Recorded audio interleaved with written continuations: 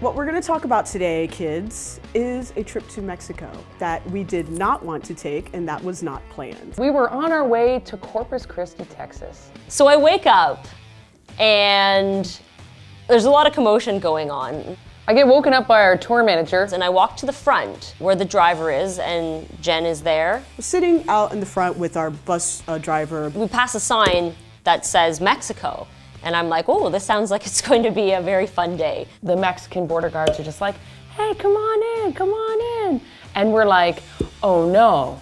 It was on the way back that was uh, where the trouble began. We're starting to sweat a little bit because we can't find our visas. I was very well aware of a procurement we had made the night before of possible about a pound of marijuana. Immediately, because I'm Canadian, my sister is Canadian, and Jeff is Canadian, we are pulled off the bus. They decided that they wanted to pick on the Canadians. Of course, they take uh, Morgan, Mercedes, and Jeff off into it, like they dragged them like they were war criminals. They were yelling at us, uh, screaming at us. I was crying. They fingerprinted me. I was like, I'm a criminal.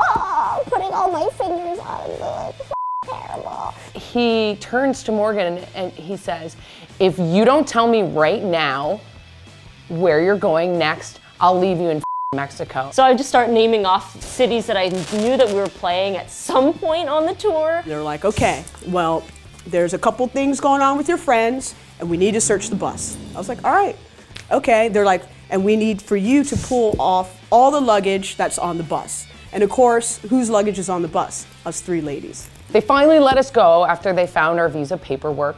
They had gone through our entire bus, like the entire fucking bus. And they immediately just tear through everything. And there's just clothes. They threw our dirty underwear everywhere and probably sniffed it, maybe took a bite out of the crust.